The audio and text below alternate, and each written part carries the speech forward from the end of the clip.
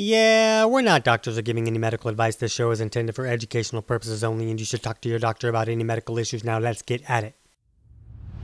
Welcome to Chat the Fat, where nutrition authors Nissa Graun and TC Hale are going to break down common low carb mistakes. Let's chat all things low carb, keto, digestion, and more so you can maximize your results. Hello, good people. Back to Chat the Fat. This is episode 13, but it's not an unlucky episode. This is TC Hale. I'm here with the very lucky Nissa Graun. Say hello, lucky Nissa Graun. Hello. I'm not sure why I'm lucky, but I guess I am. It's not because you're hanging out with me, but it's because you're anti episode 13. I like the buildings where like they don't have a floor 13. I think that's kind of awesome. That's a little Yeah. creepy. Yeah. So it's not just from a movie. It's it's a real thing. It really happens. Check Yeah. check your elevator. So what's going on? Um, not too much. Just ready to talk about different types of fats because I know we're talking about high fat diets and people get really confused. Right. And they're just like, high fat. Okay. I'll just have all the fat. If it has fat in the name, I'll I'll listen to that podcast because it has fat in the name. And if it's in the food, I'll eat it. That's right. Okay. So break it down. Let's let's jump right in there. So, with so many keto success stories out there, there's a whole lot of people who are lowering their carbs and ramping up their fat in hopes of a keto success story of their very own. Wow. Now, while many of these keto, what many of these hopeful ketoers mean well, if they're ramping up with the wrong types of fat, they could actually be doing more harm than good for their best keto results. Since there's still so much misinformation given about healthy fats in the mainstream, in this episode, we are going to clear up some of the confusion that comes along with which types of fats you should consume. Yeah, so we- we'll talk about some that are that are generally good, some that are generally bad, and then we'll get into some specifics of like Yeah. maybe this is better for you and maybe this is better kind of thing. Yes, and we're going to be talking about this, but if anyone is still confused by the time we're done, we will have a guide that is going to help you determine which foods contain which fats. So once you determine the best fats for you, you know which foods to add and which foods to avoid, and you'll be able to find that at chatthefat.com slash episode 13. Yeah, and you can just download that for free, and that'll kind of help you out. And just in case we ramble, maybe you don't have to totally pay attention because you can just download that guide, and that'll help you out. Yes, but you should still pay attention because you're here, so why not pay attention? Yeah, I was just I'm just saying I'm not I'm not promising I'm not going to ramble. That's all I'm saying. Okay, all right. I'll try to rein you in. Okay, good luck. All right. So um, before we start, there are different types of fats that you'll find in foods, and there are four different types that you can consume, and these include monounsaturated, polyunsaturated, saturated, and trans fats. Um, so before we tell you which one's the best for you, let's get to some definitions of these fats. So the first one is monounsaturated, and these are fats that are liquid at room temperature but start to harden when they're chilled. Uh, monounsaturated fats are found in plant foods. So, some examples with higher amounts of monounsaturated fats include nuts, avocados, vegetable oils, and peanut oil or peanut butter. All right. And then the next one we get to polyunsaturated fats, and this is defined as fat molecules that have more than one unsaturated carbon bond in the molecule. That's why they're called poly, which is also called a double bond. So, oils that contain polyunsaturated fats are typically also liquid at room temperature, but start to turn solid when they're chilled. And some examples of these include olive oil, corn oil, soybean oil, flaxseed oil, walnuts, and sunflower seeds. And I know some of those will still say stay liquid uh, when they're cold too, and it kind of can depend on the on the oil itself. And I know that there was a big thing. Uh, I think Dr. Oz talked about something at one point, like he's saying, uh, had somebody on the show that was talking about if you put your uh, olive oil in the fridge and it doesn't harden, then it's rancid and garbage olive oil. Um. And then there was a bunch of people who kind of disproved all that. I, I, don't, I never really dug into it because um, I- don't use a ton of these things. And we're going to talk about why I, I have some problems with polyunsaturated fats later, and it's going to freak some people out. and I made squinty eyes. If they're watching on YouTube, they can see my squinty eyes because Dr. Oz is one of the people back in the day who really confused me on the subject and gave me some pretty bad information. And you were drinking gallons of flaxseed oil at a time because Dr. Oz was so dreamy? No. All right. So um, these are the two types of fats that most of the mainstream consider the healthy fats. And a lot of health gurus push these as the fats that should make up the majority of your diet. And we'll definitely have more to say about that in a minute, but let's get to the other kinds of fats. So the next one that we'll define are saturated fats. And so these are fats that are mostly solid at room temperature and they can include butter. Unless you're in Arizona, it mm, gets melty. right? Yeah, yeah. You can't yeah. leave the butter out there. Oh, I do. Have... I do. It just gets melty. so then, when you want to put it on your food, you just have to wipe it up with a paper towel and then wipe the paper towel on your food. No, it's, it's going to be a, a, plate of a plate of liquid butter there. yeah, maybe on those hundred degree days. Right. Um, so it also includes ghee, palm oil, coconut oil, cheese, and red meat. And then finally, we get to the trans fats. And so these are also called trans fatty acids. And these are basically created in an industrialized process that adds hydrogen to liquid vegetable oils to make them more solid. So you may see these on food labeled as partially hydrogenated oils. And some examples of these trans fats include donuts, cookies, fried foods, and other commercially available foods that are made up with shortening or par- partially hydrogenated vegetable oils. And most people kind of know that trans fats are, are, are not ideal by now, but they also know that donuts are not always ideal too. So maybe that's what helped them understand that. Yeah. Um, but pretty much every article that you pull up on Google is going to tell you to consume more mono and polyunsaturated fats, while they also state that you should avoid saturated and trans fats at all cost. So, like you said, hopefully we all know to avoid foods like donuts and fried foods if we're trying to improve our health and lose weight. But if you just panicked because a lot of the foods consumed on a keto diet are filled with saturated fats like butter, coconut oil, and cheese, then we are here to clear up some myths about saturated fats. Yeah, and you really need to understand them because if you're going to do a high fat diet but you're like afraid of saturated fats guess what? Your your diet isn't isn't going to go so well. No. So why do you think saturated fats got a bad rap in the mainstream in the first place? Well i i know we'll have to maybe at least at least touch on the Ancel Keys thing uh, for one thing um, but then there's other issues that have confused people and maybe let's let's talk about the Ancel Keys thing first, real quick, in case there's you know a few people that have not heard that. I don't even remember the whole thing. It's been so long since I talked about it. Why don't you break it down for a second? Um, so basically, he published a study all the way back in the 70s stating that saturated fats were cl- clogging arteries, but after further looking at the studies, it wasn't really the saturated fats that were causing the issue. It was the carbs that were found in these high fat foods that were causing the problems. And Ancel Keys neglected several other factors in the study that could have been the cause for heart disease. Um, but other factors is that the countries he used in the study also had the highest intake of sugars and refined carbs. And of course, we all know that there's politics and money involved in keeping this truth alive, even though a lot of the things that he found to be true were not true at all. Right, and, and we've talked before on other episodes that it's it can be very problematic when you increase fat intake the way that we like to increase fat intake, yet the person is still eating a lot of carbs and sugars. You're you're mm-hmm. by continuing to eat the carbs and sugars, you're pushing your body into a glucose burning state to where it's going to want to store excess fats. And if you're cranking up the fats, that's that's a real problem. But you know, when someone goes to create any kind of study like this, they have a hypothesis that they want to prove.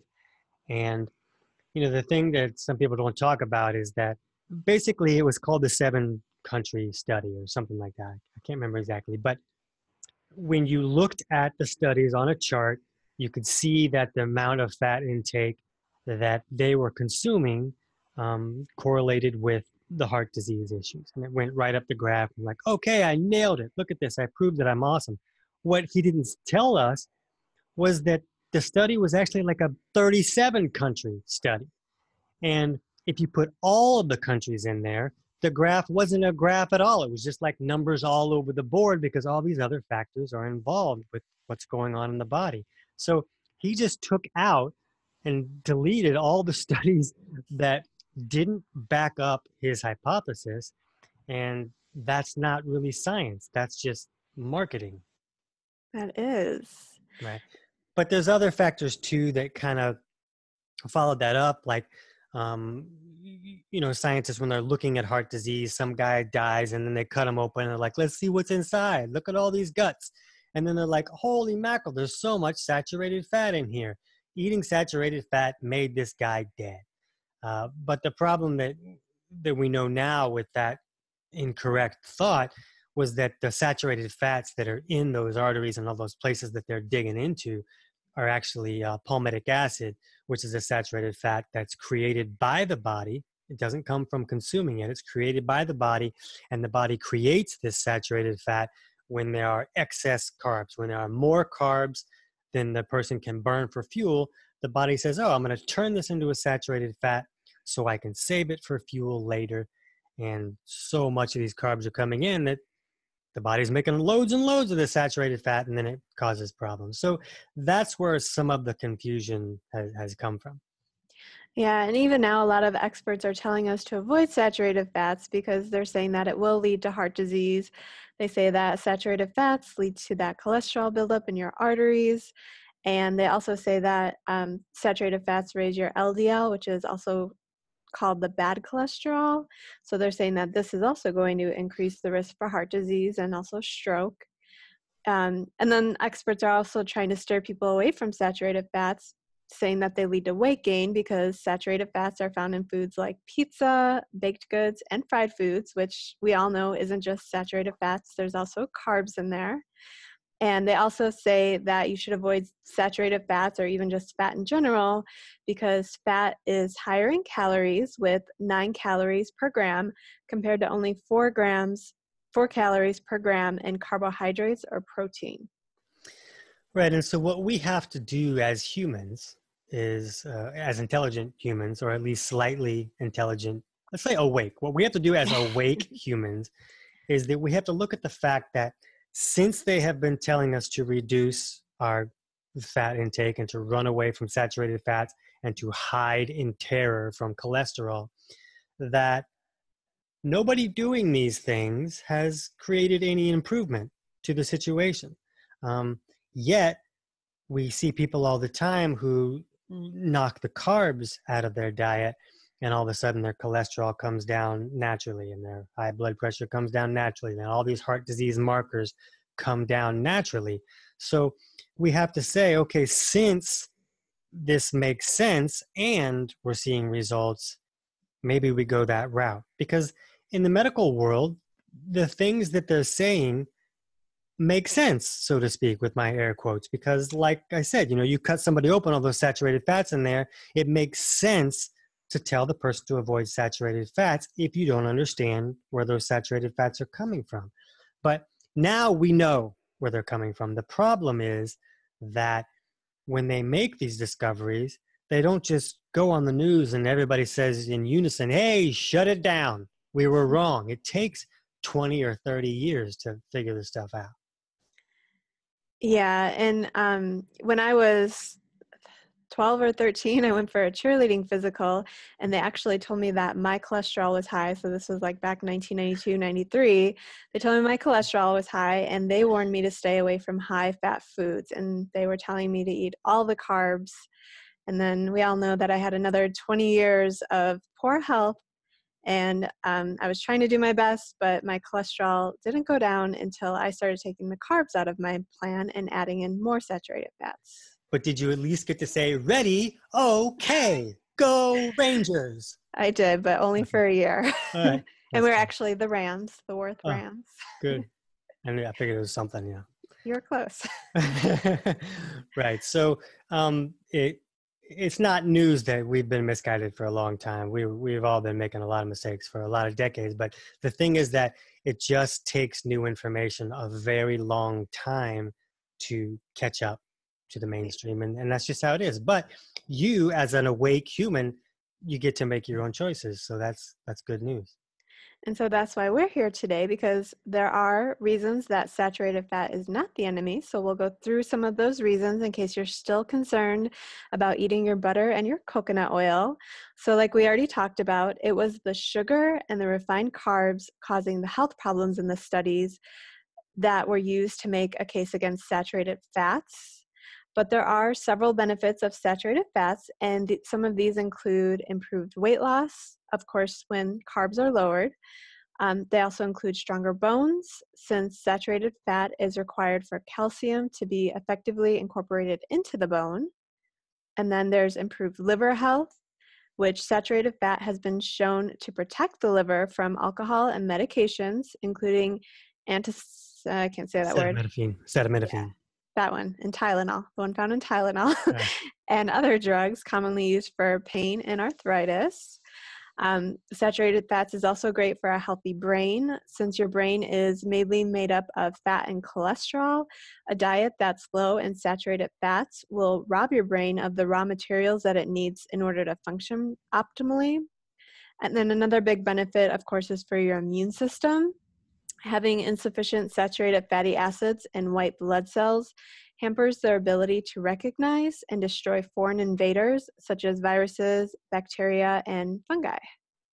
And also, um, they're delicious. They are. We totally left that that benefit out. Yes, all the butter, even the melty butter. Right. Yeah. okay, so next, let's talk about polyunsaturated fats, while there are many mainstream health gurus like Dr. Oz who tell you to load up on these fats, there are other experts who suggest that vegetable oils actually may increase the risk for heart disease and mortality instead of lowering it, like a lot of mainstream sources will tell you. And part of the reason for this is PUFAs, which is their um, the short word for them, PUFAs. They're damaged by excess heat which is used when processing these oils. And it's also important to note that these oils are refined, bleached, deodorized, and boiled. So a lot of them have their nutrients and antioxidants just stripped right out, which can render these oils toxic and difficult to digest, which I know you know a thing or two about. Yeah, the digest part. yeah. yeah, and also you know they like they know they know that a lot of these oils are bad when you know they're heated and stuff but also we're as humans we're a little we're hotter than we think you know and, and we have the ability to heat these oils when we consume them as well in a manner and that some people believe that that has some effect on some of the damage they can cause and then um, the PUFAs, they're also high in omega 6 fats.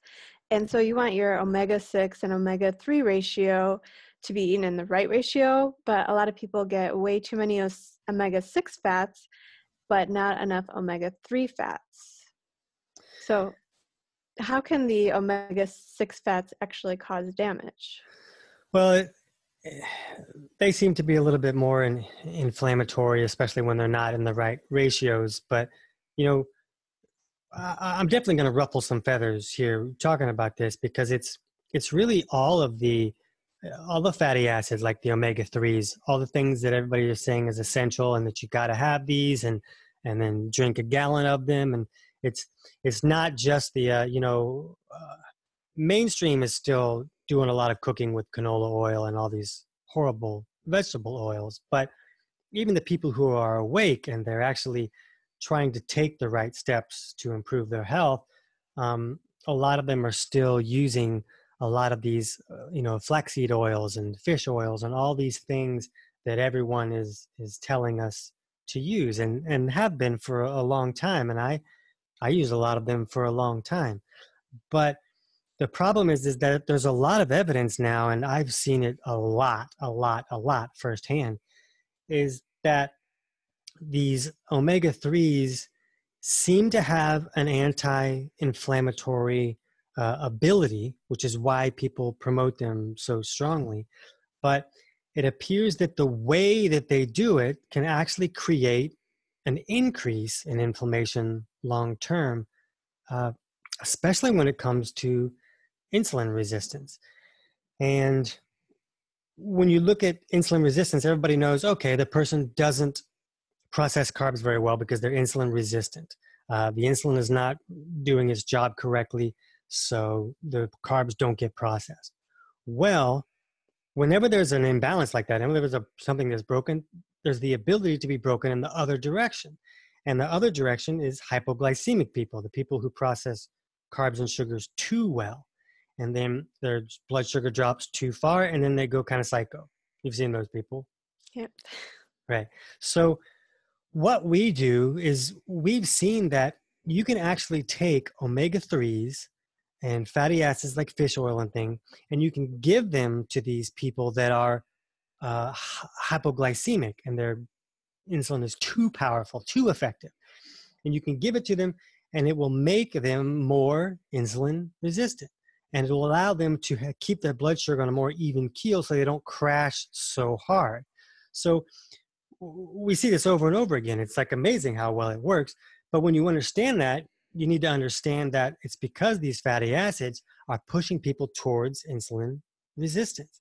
And even in the keto world, there's a lot of people who are like, uh, I get half of my fat from saturated fats and the other half from omega 3s and fish oils and flaxseed oil and all these things.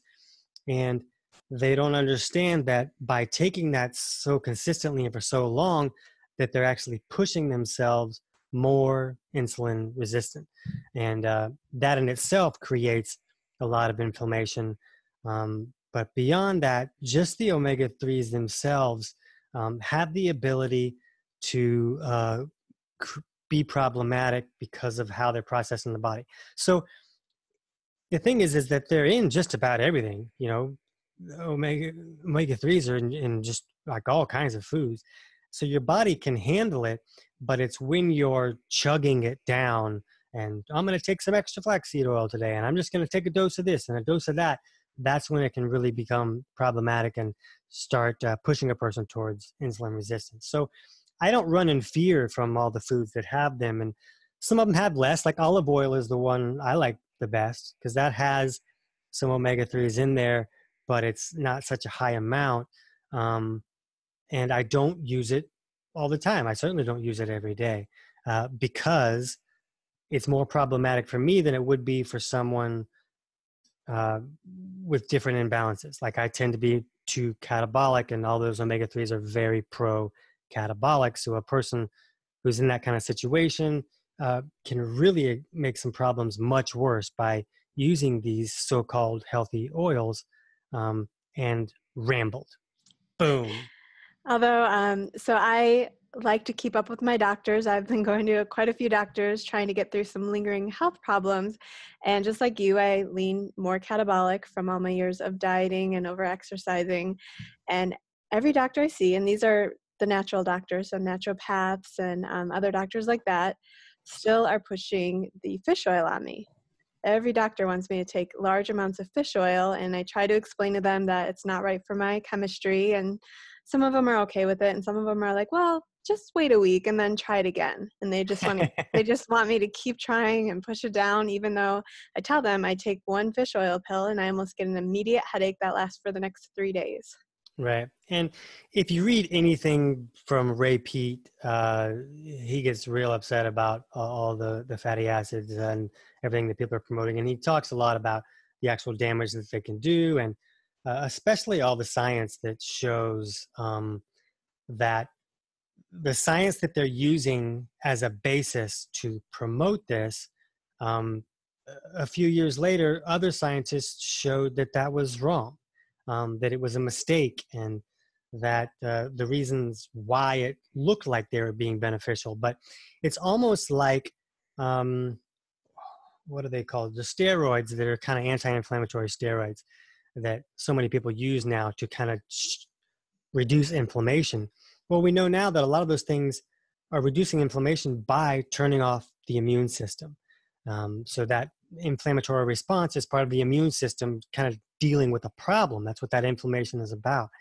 So um, we know that those are turning off the immune system, but the fatty acids and the omega 3s have the ability to have a similar effect when used in uh, the larger doses like most people are being told to do. So my stance is that I don't so freak out about it. There's a lot of people that are like, don't ever use any kind of omega 3 at all. Don't touch it, run from it. I don't have quite a stance like that because there are people who have extreme issues from being like hypoglycemic or too anabolic. And I find that these are very beneficial for those people and can help them kind of balance things out. And I myself, even though they're not right for me, I try not to stress about avoiding everything because they're just in a lot of foods. And so I just don't add extra. And uh, I seem to do fine with that point of view. And so there's um, a lot of recipes that call for vegetable oils, especially olive oil, when cooking. Now, why is this a bad recommendation? Now, this is one that I do say, hey, don't do that. You know, yes. I say don't don't. I've heard you say that. Yeah, I have mentioned that um, because when these oils are heated, they it changes the molecular structure and they become more of a toxic uh, substance that you're putting in your body. So uh, you can put olive oil on food after you cook it. It can even still be you know warm food. You just don't want it to be like in the pan, reaching those types of temperatures. Okay. And so if we're not using olive oil, since that's pretty much in every recipe, what oil should we be cooking with? What do you cook with? I cook with a lot of coconut oil and butter. That's what I use too. And sometimes I'll use like a beef tallow or maybe like a duck fat, you know, something rendered duck fat or something like that, just to be like, ah, I'm going to use something different just to mix it up. You know, we're actually um, we're from Chicago, and one of my husband's favorite restaurants that doesn't exist anymore is called Hot Doug's. A take on hot dogs, and um, every Friday and Saturday he had duck fat fries. Sweet. Yeah, the that's big- pretty yeah. good. Right. It's a big draw. Um, yeah, so those are the fats that I that I like to cook with, and I I usually don't use anything else. Some people use some other things, but I find that that those do best for me. I know a lot of people will cook in their leftover bacon grease, which I have tried it. It's a little too strong for me. I think I tried cooking kale in it once, and then I just ended up burping up bacon grease all day. So I don't really do that. I have definitely done that, and I do I do like that because it adds an extra layer of flavor to some things. Now, if you did it with eggs, that might be a little freaky, but um, Mm. like if I'm cooking like a steak or something like that, it it can make it kind of yummy. yeah, I'd actually be interested to see what eggs would taste like with that. Yeah, I think that might be weird. um, so, are there differences between mono and polyunsaturated fats as far as which are better to consume, or is that more of like a per person thing? Um, I think a lot of the monounsaturated fats, uh, foods like avocados and stuff, have lower levels of the unsaturated fats, and it it it seems to be that um, a lot of the unsaturated fats can be problematic for people just because our our body temperature is not set up to thrive on that, like a a cold water fish or something like that, who has a lower body temperature. Um, so. Uh, you know a lot of the foods that are that are really high in those um, types of fats also can be high on the list of foods that cause food sensitivities for the largest amount of people um, you know like especially avocados and nuts uh, those are things that i can eat um, occasionally but if i eat them you know every week they i don't feel so great like i i when my digestion was not good and I was on PPIs and all that kind of stuff, I created some food sensitivities, and those are some of the things that I that I can that are problematic for me. Um, so I don't do a lot of the avocados, and I don't tell people to eat buckets of avocados, but I'm always fine with people eating them just because it's a good source of fat. It is a it's a real food. Yeah, also a good source of potassium if you're looking for more potassium in your keto diet. Right. So, why are the MUFAs and the PUFAs pushed as the healthy fats so much in the mainstream? Well, because it's not fried. It's not French fries.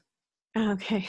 yeah and so they uh they kind of realized that look this we were running from fats and we were wrong so let's start promoting some but we're not going to do saturated fat yet. Let's promote these other ones because they're not saturated. It's just it's the main view is that this is that saturated is bad so unsaturated um, must be good. But we know that the saturated is not bad and that the unsaturated can be problematic when at high levels. So if somebody's eating all these nuts and taking all this flaxseed oil and um, they have you know a slice of steak with their bowl of seven avocados in there, then those things can be problematic, and you'll want to cut those down.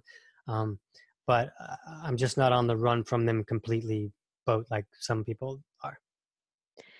Okay, and I mean also we need to look at the money. Where is the money going? Because a lot of these crops are subsidized for more profits of the vegetable oils, whereas it's not as profit worthy for to push coconut oil or butter. Right, and a lot a lot of these oils they just started using them because they learned that it could help fatten up a cow give by giving it less food. So they were like, "Oh, let's we'll use these things to fatten up the cow. So let's grow more of these crops." Like, wow, these crops are cheap. Now we got a bunch of these. Why don't we just sell them to people?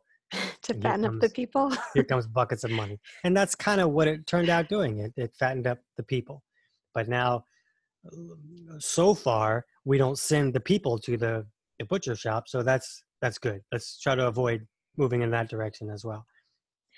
And then I think another reason that the mainstream is pushing them is some of these um, MUFAs and PUFAs are said to lower the bad cholesterol. But we've already kind of talked about in previous episodes that it's not always the amount of cholesterol that matters, it's actually the size. Right. But just even, I, I used to want to write a cholesterol book that was like just like do the opposite of what they tell you.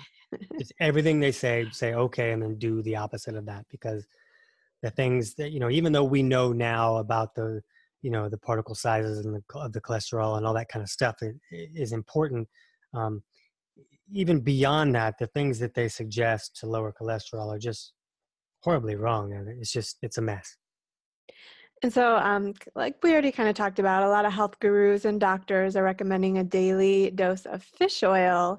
For the people that think that they need to take it, is just testing their chemistry something you would recommend, or how should they go about whether or not they should take that? Yeah, uh, you could definitely look at your chemistry. We have a, a, an almost free course. It's 50 cents, so it keeps out all the spam registrations. I, I, I kickitnaturally uh, forward slash uh, keto digest. Um, and that kind of shows you how to run simple tests. So you can kind of look at your chemistry and see, am I already leaning to catabolic? Because if you are, taking all of those fatty acids is making many things horribly, horribly worse. And if you're not, um, I, I still would do less. You know, there's foods that you can eat that have those in them, you know, like some fish and some things like that. Uh, I, I like to see people do that just because the level of increase in the dose coming in like that is not as beneficial as people think. Uh, as it goes in, it can be anti-inflammatory, but like we talked about, long term, it's going to likely create more inflammation and be immunosuppressive and problems like that. Insulin resistant, driving, all that one of those doctors that I told you about that was trying to get me to take fish oil, and he said just wait a week and try it again. He was also trying to get me to eat fish, which I just can't get behind. I never liked fish. And I know that it's not right for me because when he tried to force it on me, I actually cried. Sweet. I like it when the doctors make you cry. yeah, so I definitely know that fish is not the right thing for me. But I learned that about myself by taking the digestion course. Right, right. Um, so, speaking of being in a catabolic or anabolic imbalance, um, how can people determine which are the right fats for them? Like, people who are catabolic should be eating different fats than someone who might be leaning anabolic. Yeah. So, if if someone is uh, pushed to anabolic, where their body's kind of stuck in that rebuild and repair mode, you know, most of the time, I, like to use olive oil as a as a great fat because that is slightly pro-catabolic and can help balance out that person. But if someone's too catabolic, like you and I tend to be, um, more of the saturated fats like uh, butter and, and, coconut oil uh, can help improve that imbalance. So, you know, we, we talk all the time and everybody talks about how beneficial coconut oil can be and how it can help somebody lose weight. But if somebody's severely anabolic and they're having a whole bunch of coconut oil, they can really make that imbalance worse and have a hard time losing weight. So that's why we really like to talk about nothing is right for everybody. We need to look at the person and figure out what's going to be beneficial for them. And in both of these cases, that doesn't mean that if someone's anabolic, they can never use coconut oil. I just like to see them take steps to improve that imbalance before they start eating a lot of coconut oil. Same with olive oil. It's not right for my chemistry, but I still, you know, consume it because I'm taking other steps to balance things out.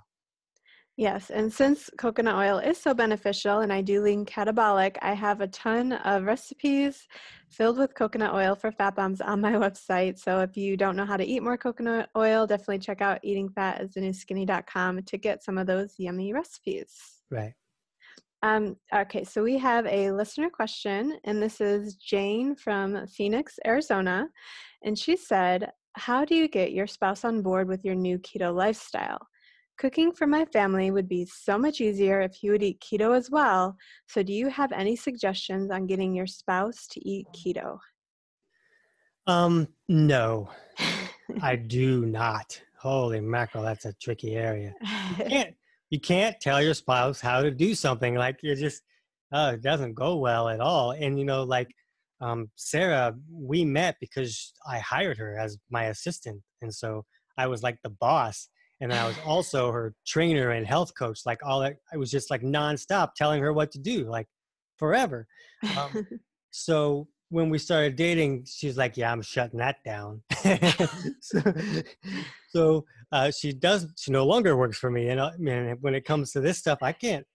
She has to ask questions. I can't tell her how to do anything. That's just, and I I hear that from other clients too, because I train a lot of uh, couples and which is fun because you can kind of run their life. Oh, she says this, you know. Uh, but I, I find the best way to do this is to lead by example. And because, like, when you lost a bucket load of weight, all of a sudden, Jason's more interested in what are you doing? What you what are you doing over there? Uh, if if you have a husband that's at least a little bit afraid of you, then you just sometimes have to give him a look. give him a dirty look when he's eating something that's not ideal and he'll catch on soon enough right which he did so that was your that was your plan? Yeah just make sure your husband is a little bit of scared afraid of you for mm-hmm. whatever reason just because you're a woman and he's a man and men don't always understand women. Cool. So teaching through fear. I like it. This is great. It works. Yeah. All right. So there's one point of view and the other one is just lead by example. So you can just use your own mixture of which one of those works best for you.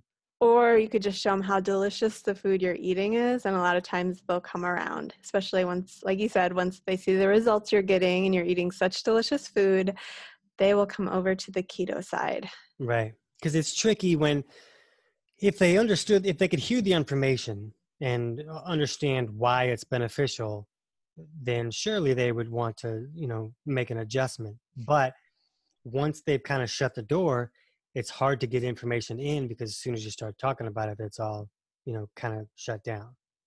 Yeah.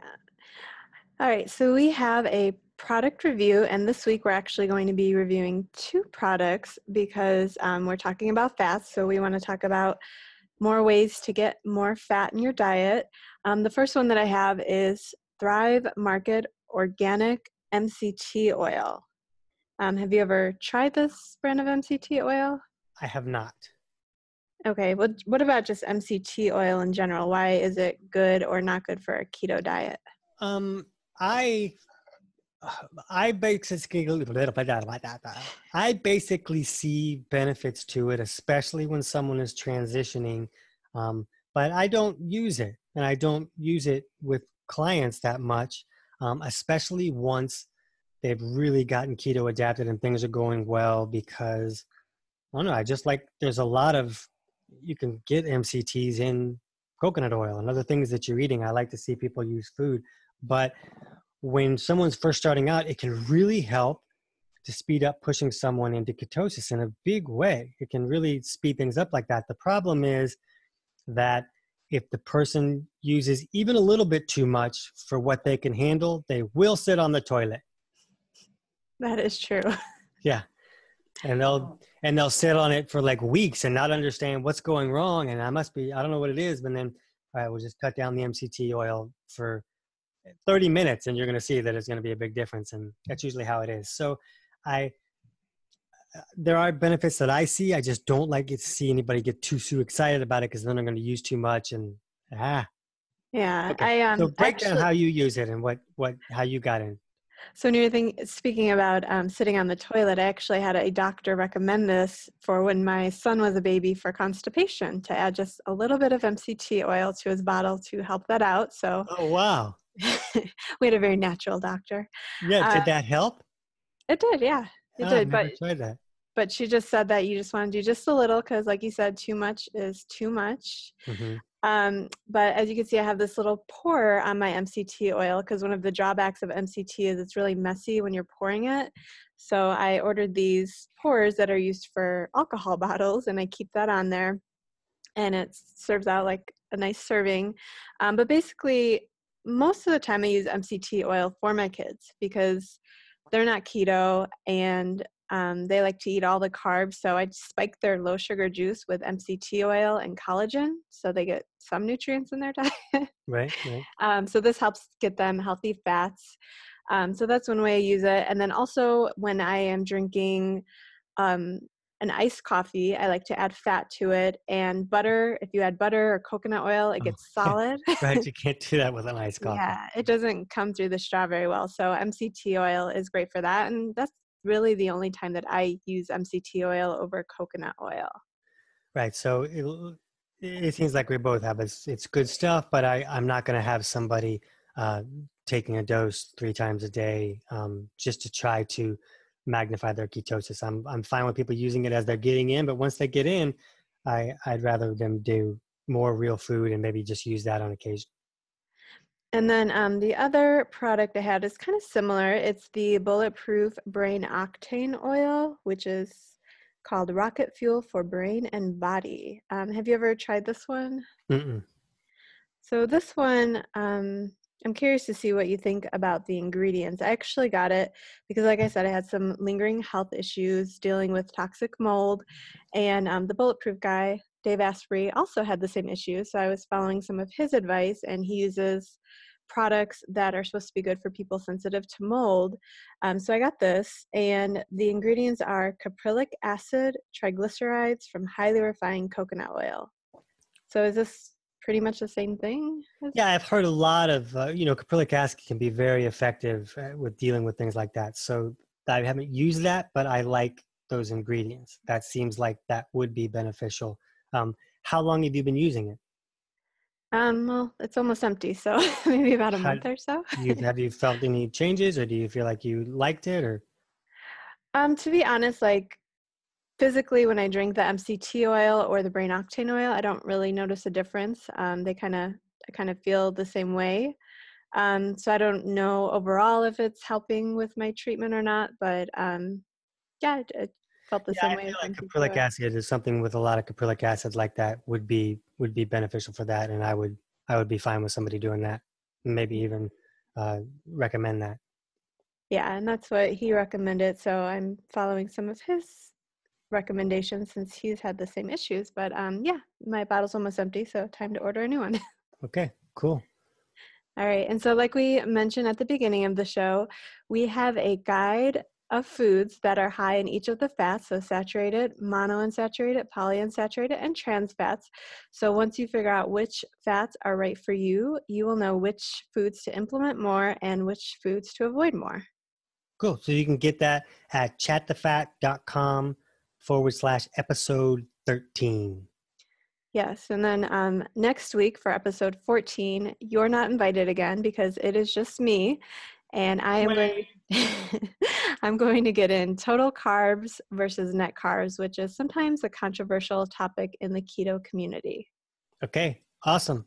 So love to hear from you guys on other topics you want to uh, hear us talk about. So you just go to chatthefat.com and, and click on the contact us and let us know about questions you might want us to cover on a show or, or topics you want to dig into. And we'll see you guys soon. Whether you're brand new to keto or just looking to move past roadblocks, join us for our next Troubleshooting Keto Master Workshop.